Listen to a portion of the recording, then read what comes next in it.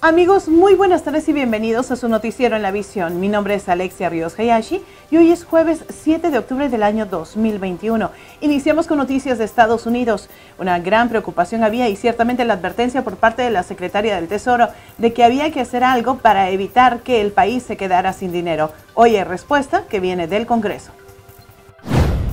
Senado estadounidense llega a un acuerdo para evitar un default. Los senadores de Estados Unidos alcanzaron el jueves un acuerdo para evitar un catastrófico incumplimiento crediticio, después de que los demócratas aceptaran la oferta republicana de elevar el límite de la deuda durante dos meses, dijo el principal demócrata Chuck Schumer. La secretaria del Tesoro había advertido que el país entraría en un incumplimiento de pagos el 18 de octubre si el Congreso no elevaba el límite, lo que desencadenaría una recesión y un clima de máxima incertidumbre en los mercados. El acuerdo sienta bases para una especie de secuela en diciembre, cuando el Congreso vuelve a enfrentarse a plazos apremiantes para financiar el gobierno y a elevar el límite de la deuda antes de volver a casa por las vacaciones.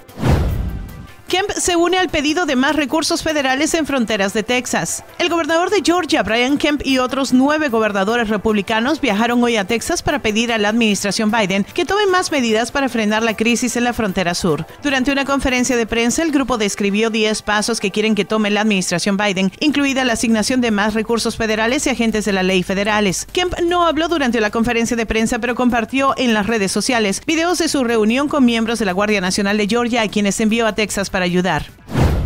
Arrestan a Georgiano por prender fuego a la casa de su exnovia. Un hombre de Georgia que quemó la casa de su expareja fue detenido por las autoridades bajo acusaciones de incendio premeditado y crueldad infantil, entre muchas otras. Tobias Steven Fuller fue arrestado en la madrugada en el condado Floyd. Las autoridades lo buscaban por el siniestro del 27 de septiembre cuando el acusado fue visto por su exnovia vertiendo combustible fuera de su habitación en una casa en Rome, Georgia. De acuerdo con las autoridades, Fuller se quitó la camiseta y prendió fuego al combustible, lo que provocó que la casa comenzara a arder. Luego presuntamente prendió un segundo fuego usando juguetes para niños afuera de otra ventana de la casa. Los agentes dicen que Fuller sabía que su exnovia, su hijo y otro niño estaban dentro de la vivienda en ese momento.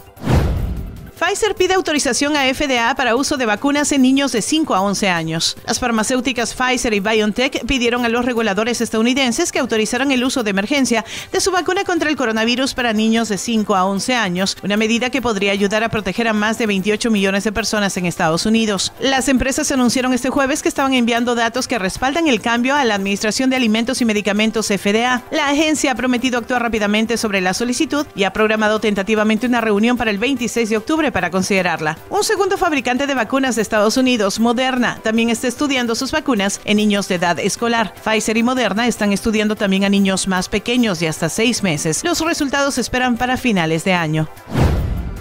Una de las principales preocupaciones para los padres de familia es justamente eso, sus hijos. Y es que ahora con el regreso a clases, los contagios son mayores y también es mayor la cantidad de niños hospitalizados. En los datos de COVID-19 en el estado de Georgia tenemos el día de hoy que nos encontramos con 4.161 nuevos casos. Ahora tenemos en total 1.238.404 casos desde que inició la pandemia. En cuanto a las hospitalizaciones, 273 más y además 164 personas fallecieron en las últimas 24 horas. En el tema de las vacunaciones, continuamos con el mismo porcentaje. Tenemos hasta el momento 10.702.246 dosis administradas. Esto representa aún un 48% de la población.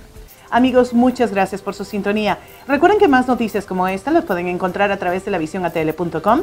Síganos en nuestras redes sociales como la ATL en Twitter, en Instagram, en Facebook también. Y no se olvide de suscribirse a nuestro canal de YouTube, La Visión TV. Mi nombre es Alexia Ríos Hayashi. Hasta la próxima.